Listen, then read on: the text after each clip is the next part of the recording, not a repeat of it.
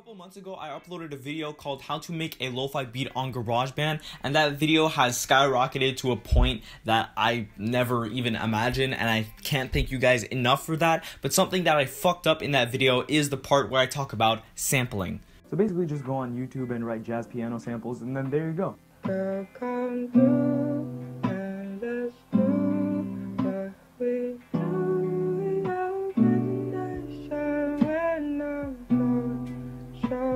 I basically just said to search up on YouTube a random ass song and just download it, but I never explained to you how to actually sample and how to do it correctly. So without further ado, in this video, I'm going to explain to you how to properly sample on your phone using GarageBand. Now first off, I'm going to explain to you guys how to actually put the samples onto your phone so that you can use them, which I should have done three fucking months ago. The first thing you need to do is find a sample. To not waste any time, I'm just going to use the last sample that I used in the lo-fi video, which is Shiloh's Imagination. The next thing you want to do is just download the sample, then plug this thing into this thing using this thing. Then just open up iTunes, put the sample into your music library, and then you now have it on your phone, which you can now import into GarageBand.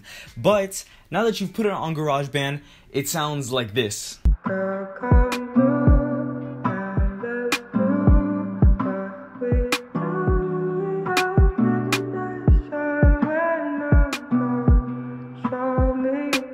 See, with a lot of samples, just like this one, for example, even if you have the exact tempo of the song, it still might be out of place because of whatever fucking reason. So, I guess my dream of being a lo fi producer is over.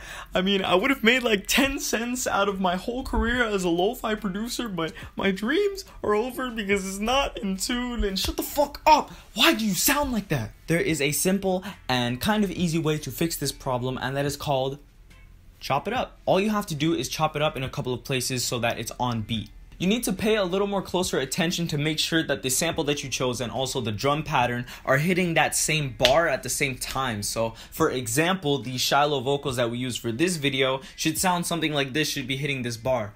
Girl, come through and let's do what we do in your imagination when I'm gone.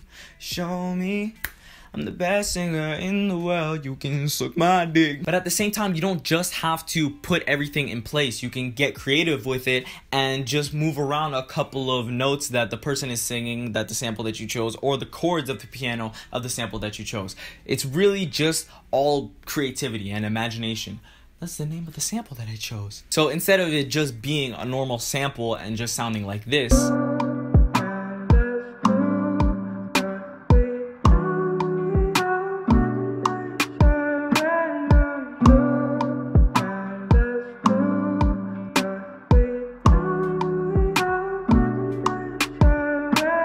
you can chop it up even more and make it sound way crazier like this.